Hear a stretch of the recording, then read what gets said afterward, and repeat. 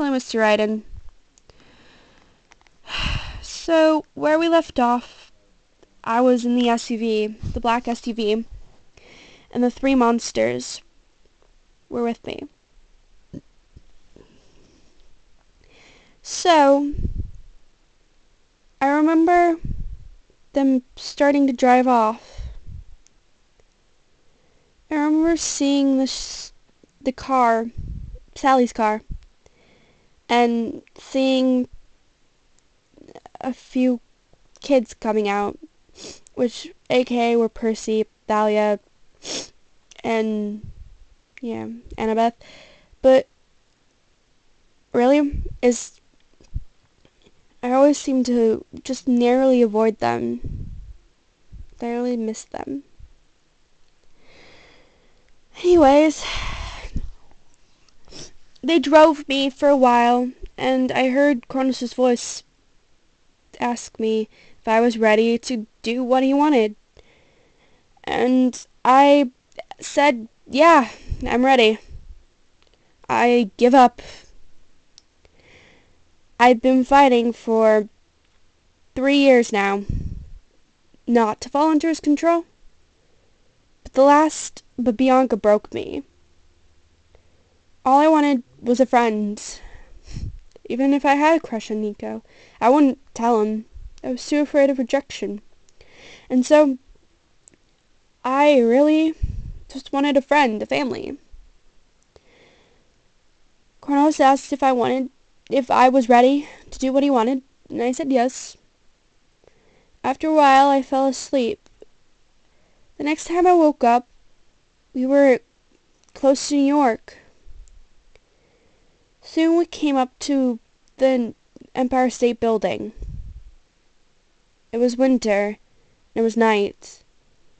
I remember being told that they couldn't come with me and that I had to do it all alone. And so, I went in and up to Olympus. It was so cold. It, even on Olympus, the grass was frosted, and as I stepped on it, it crunched. I remember that. And I remember hurrying into the hall. It was warmer in there, and I walked I walked around and finally found a chamber. In it, the big three's relics were the helmet of Hades, the helmet of darkness, the helmet of darkness, um, the Helm of darkness, the lightning bolts, and my father's trident. I passed both the helm and the lightning bolt, and came in front of the trident. Kronos wanted me to steal it. I remember reaching out and was about to touch it, but I didn't. I stopped myself after that, I heard someone walking, and I saw light coming towards me, and I saw lights coming on. And I turned tail and ran. I ran down the lawn, down to the elevator, down out of the building, and completely past the black SUV. All three of the monsters jumped out of the car and raced after me. This gave me a burst of speed. I ran and ran as fast as I could. I skidded down an alley and fell. I landed into the labyrinth. I remember running, getting up and running down a clay hallway lit by torches. Darkness, lost, panic. Soon, after I don't know how long wandering, I was hungry, of course. Mrs. O'Leary found me. She brought me to Daedalus, and he took care of me for a while. He sent me out for a mission, told me to not lose track of the string, of course. But being an idiot I am, I mean, of course, there there's two different things, having wisdom and using it. I make a lot of stupid decisions. Even if Athena admitted she'd make stupid decisions. um, anyways.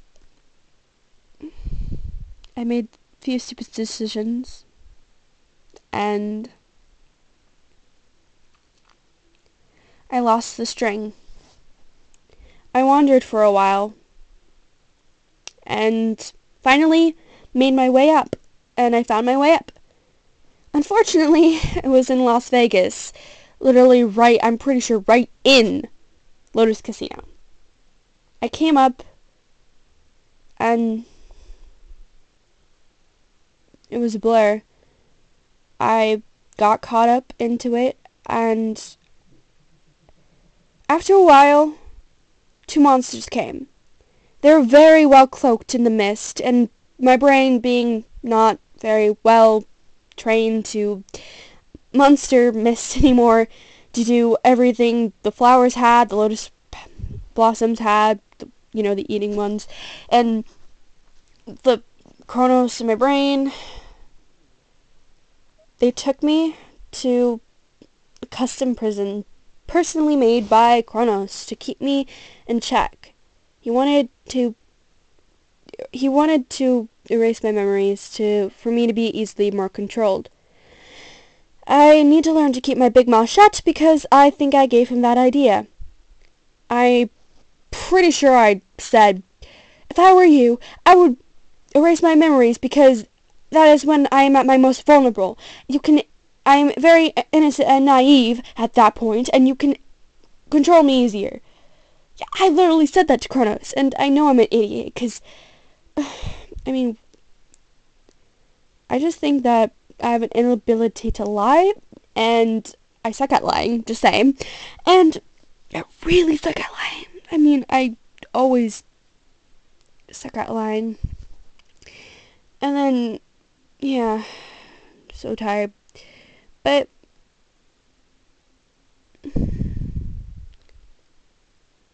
Athena has answered a lot of my questions. Athena actually allows me to call her mom because she's more like my mom than anyone has ever been. So really, I have a family.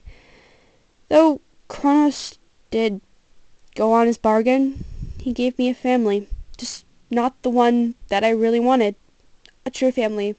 Because my life here is a lie. And what I wanted was a true family.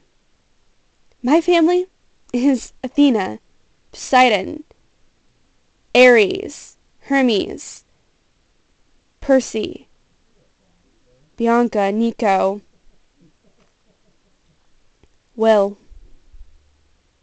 Leo, Jason, Piper, Grover. They're all my family.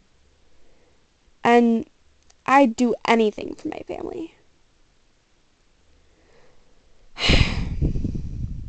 but it seems that Kronos is cutting me off again, tantalizingly waving my escape in front of me, and withdrawing it at the last second. So I have no one.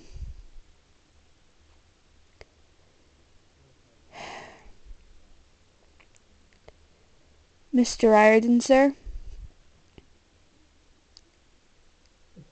Please do me a favor. As soon as you get this, help me. Um, and if you're watching this and you're not Mr. Riordan, please share all of these the three parts of these so it may get a lot of views and attract Mr. Riordan's attention. You guys are the best subscribers ever, so please share it and get it out to Mr. Riordan. Love you guys. Bye. And I swear on the river Styx that I am telling the truth. I solemnly swear that I'm up to no good.